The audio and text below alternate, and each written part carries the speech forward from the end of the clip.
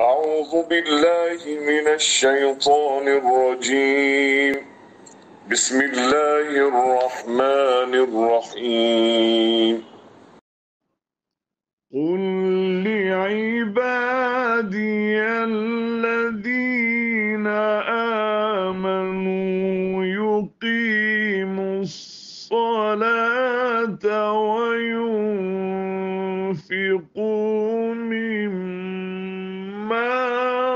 رزقناهم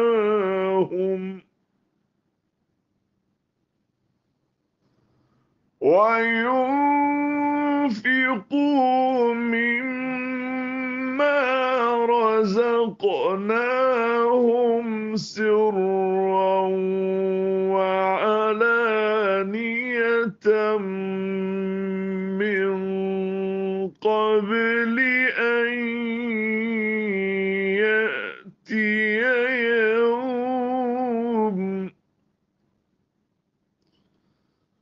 من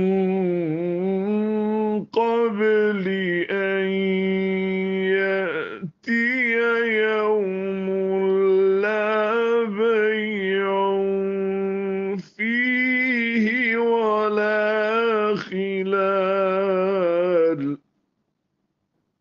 اے نبی محترم صلی اللہ علیہ وسلم، میرے جو بندے ایمان لائے ہیں، ان سے کہہ دو کہ نماز قائم کریں اور جو کچھ ہم نے انہیں دیا ہے، اس میں سے کھلے اور چھپے راہ خیر میں خرچ کریں۔ قبل اس کے کہ وہ دن آئے جس میں نہ خرید و فروخت ہوگی اور نہ دوست نوازی ہو سکے گی۔ او محمد مصطفیٰ صلی اللہ علیہ وسلم، tell my servants who have believed to establish prayer and spend from what we have provided them. Secretly and publicly before a day comes in which there will be no exchange, ransom, nor any friendships.